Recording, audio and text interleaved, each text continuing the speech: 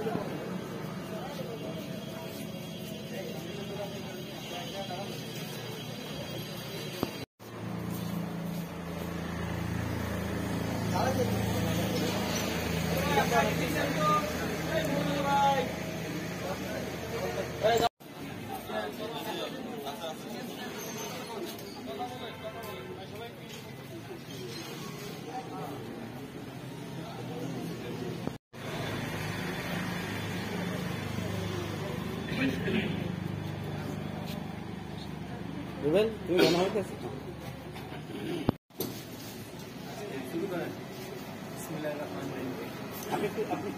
যে কথা বলবেন, সে ব্যানারের কাছে আসুন। ঠিক করে আমরা আন্দোলন শুরু করছি।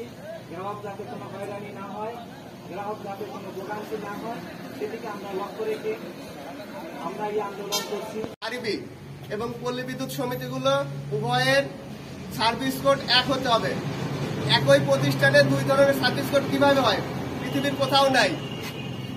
একই প্রতিষ্ঠানে একই নিয়োগকর্তা, একই পরিচালনা পর্ষদ সবকিছু এক হওয়ার পরেও দুই গ্রুপের জন্য সার্ভিস কোড কীভাবে দুইটা হয়?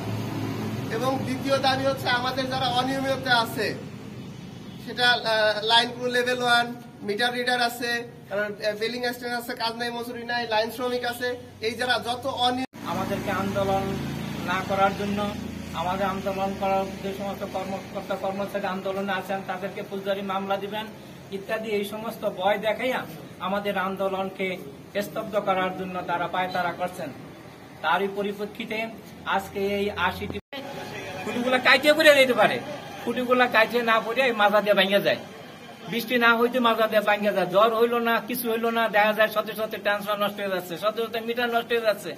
যার প্রেক্ষিতে এগুলো যখন নষ্ট হয়ে যায়, তখন গ্রাহক হয়রানি হয়। গ্রাহককে আসতে হয় অফিসে, গ্রাহক ভোগান্তি হয়, গ্রাহককে আবার মূল্য পরিশোধ করতে হয়।